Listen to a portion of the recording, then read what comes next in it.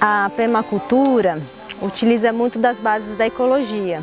A ecologia ela é uma ciência que estuda a nossa casa. Então a permacultura também ela vai trabalhar muito com o, o planejamento da nossa casa, a nossa casa com o planeta Terra. O nosso objetivo é transmitir essa programação na forma vivencial. Né? Então, durante todos os nove dias ou as 82 horas de trabalho, a gente tenta ir fazendo que todos as, as, os eixos da permacultura, todos as, os âmbitos naquela trabalha sejam considerados transversalmente. Né? Então, por dia Cada dia se aborda um, um elemento específico, num dia solo, plantio, outro dia construção, outro dia saúde, alimentação, práticas holísticas. Né?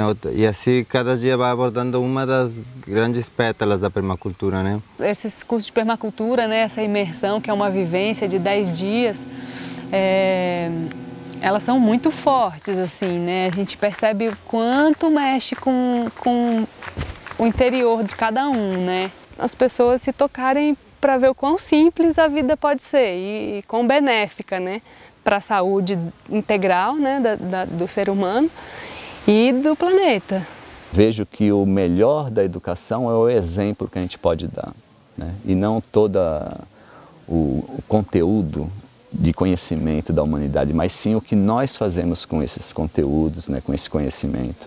Atualmente, esse curso de permacultura, esse encontro, que foi maravilhoso, que ainda está aí acontecendo aqui na Campina, é um processo educacional agora maior, né? porque a gente agora vai difundir assim para outras pessoas, outros grupos, outros lugares, uma experiência vivida. E assim como todas as práticas, a gente tenta fazer que as pessoas entendam que, que só precisa prestar atenção e observar bem o que tem ao seu redor, que com, o que está próximo dá para fazer o que quiser. Né? Tanto construir uma casa, como plantar uma horta, né? como construir uma comunidade ou como cuidar das suas águas. Né? Então a gente sempre se coloca como seres parte da natureza, né? não como seres individuais separados, seres humanos, natureza, duas coisas distintas.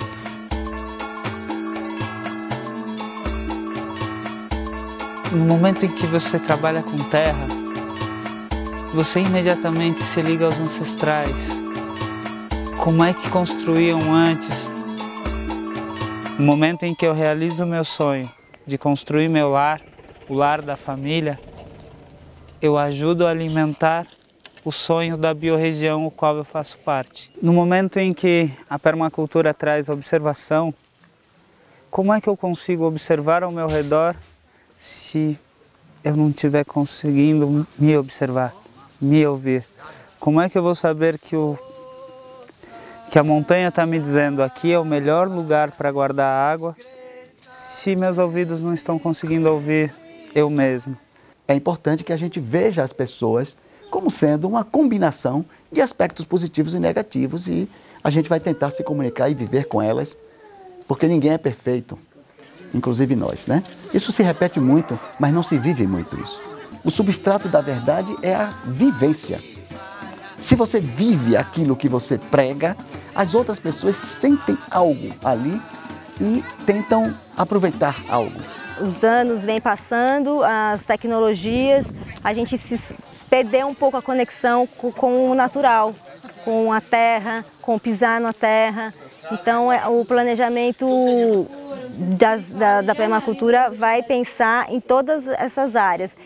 Inclusive, essas áreas todas, ela, ela, ela foi sistematizada numa flor, a flor da permacultura, que tem a sua ética como a, o miolo dela, e as pétalas com todas essas áreas para poder ser trabalhadas e interagir uma com a outra.